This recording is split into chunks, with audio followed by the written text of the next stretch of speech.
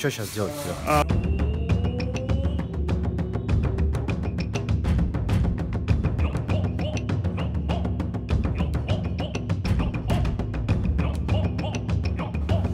Ребят, всем привет. А, поступил вопрос, да, в какой стойке лучше начинать борьбу?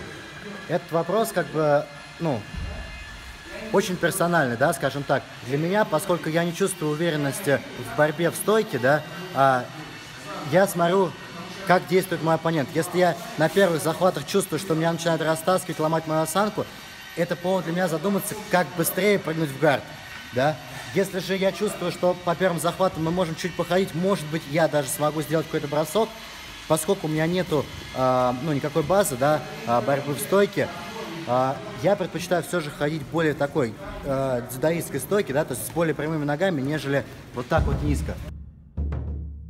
Это связано с тем, то, что ну, я не чувствую, что я смогу сделать вход в две ноги, да, поэтому стоять прям супер низко не имеет смысла для меня. И я очень люблю брать захват здесь воротник, причем обязательно ну, по верх его руки, да, то есть этот захват должен быть сверху. Почему? Потому что захват сверху, но он подавляющий, да. Вот на примере вот здесь я покажу. Если у нас, по сути дела, односторонний захват, если у меня рука сверху, да, ну понятно, что я могу притягивать, могу толкать. Саша же при этом притягивать меня, скорее всего, не сможет, потому что я смогу упереться. А вот если мы теперь поменяемся, теперь он может меня притягивать и толкать. А я при этом не могу сопротивляться. То есть я все равно прогну здесь, потому что он локтем сверху задает мой локоть. И, ну, это надо понимать. Поэтому когда мы начинаем бороться, да, я беру захваты, я стараюсь этим захватом контролировать дистанцию. Понятное дело, что если этот захват не держит дистанцию, он мне вообще, в принципе, ну, не нужен, да, и при этом я контролирую, ну, руку человека либо здесь, либо в районе локтя, да, обычно чуть выше локтя я беру. Почему? Потому то, что вот эти захваты, ну, они дают мне контроль дистанции, то есть некое чувство безопасности. И здесь, э, смотря как человек двигается, да, я уже буду думать, может быть, я его разведу на свип сингл, да, то есть избавлюсь как-то от этого захвата, продерну его туда, возьму захват за ногу, постараюсь бросить. Может быть, если человек совсем дурачок, но хочет со мной зачем-то походить, да, я возьму захват вот здесь, прям такую классику дзюдо, и постараюсь его сюда, сюда подергать, может быть, я его смогу бросить, ну, таким подсечкой, да, назовем ее, не знаю, передняя подсечка, наверное, будет правильное название. Вот. Но чего я не делаю, я не делаю, ну, броски прям чистое дзюдо, да, то есть японцы наги, да, спина с колен, не делаю броски, там, какие-то задние подножки или еще что-то. Но все равно, тем не менее, для меня актуальная стойка, ну, примерно вот такая, такая, да, то есть э, с более прямой спиной, да, чуть более легкие ноги. Я не люблю ходить где-то вот здесь, да, вот так. То есть я так хожу, только если я знаю, что мне придется быстро делать гардпул, да, то есть я хожу здесь, да, я сразу сел. И иногда я делаю такую штуку, даже вот если мы здесь взяли, особенно когда односторонний захват, вот, здесь, я иногда я чувствую, что я в стойке его не смогу, ну, расшатать, да, развести на что-либо. Я понимаю, что мне надо гардпулить, но при этом я знаю то, что человек, ну, может мне сделать такой фейковый, да, зацеп, подсечку и получить на этом два балла, если я, если я в этот момент буду садиться, и он попадет в тайминг, да. Я люблю что делать? Я люблю забирать эту руку, неважно как, то есть просто мне нужен любой захват здесь.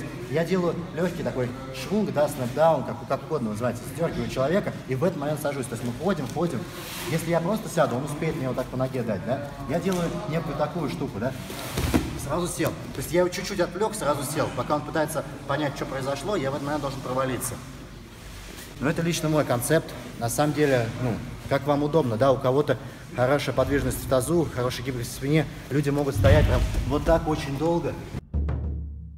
Особенно в легком весе. Я так себя немножко некомфортно чувствую. Я чувствую, что я в ноги все равно не пройду, поэтому как-то, ну, типа делаю то, не знаю что. И плюс она зависит от роста, да, вот Саша чуть выше меня, поэтому брать ему захват вот так за спину явно проблематично. То есть, скорее, он мне этот захват возьмет, чем я ему этот захват возьму. И надо это как бы тоже понимать и уважать. И надо под каждого человека подстраивать ну, свои приемы, потому что он чуть выше меня, у него чуть длиннее руки. Я это понимаю, что если мы будем бороться на дистанции, он мне вообще не даст захваты эти взять. Он будет всегда первый забирать захваты.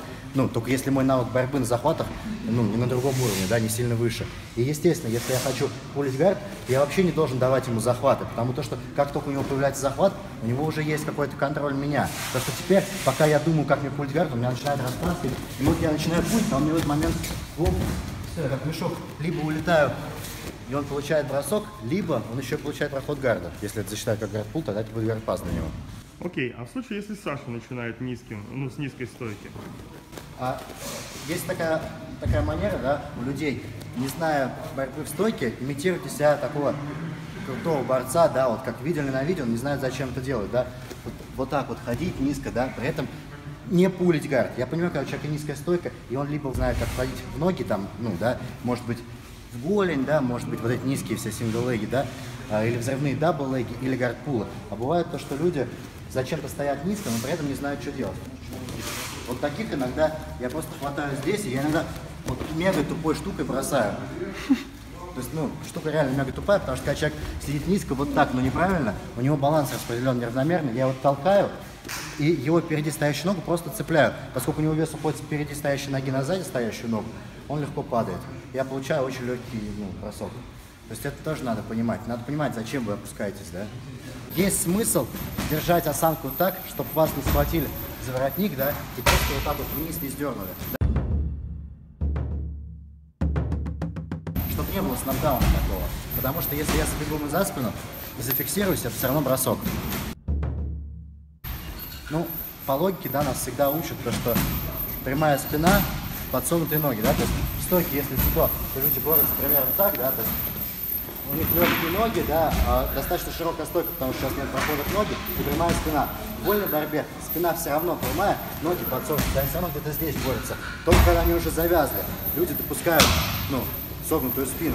Ну, то есть концепт вот стоять как-то вот так, но он неправильный, потому что поясница слабее, чем ноги, она забивается, через 2-3 минуты схватки вы это почувствуете. И самое обидное, вот если мы здесь с Сашей прободались вот так вот, а он потом сделал гардпул, да, и затянул меня, например, в спайдер, да, я и так стоял с согнутой спиной, и опять стою с согнутой спиной. Я здесь скоро умру просто. Вот и все. То есть чисто за счет перенапряжения мышц спины. Ну, они, я просто устану банально. Мгм. Именно мышечно. Вот так и живем. Как бы и свободен.